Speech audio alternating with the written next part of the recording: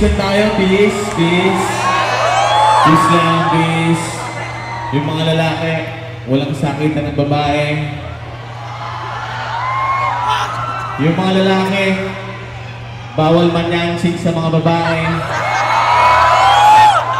Yung mga babae, pwedeng manyansig sa mga lalaki.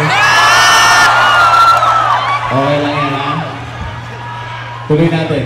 Mahal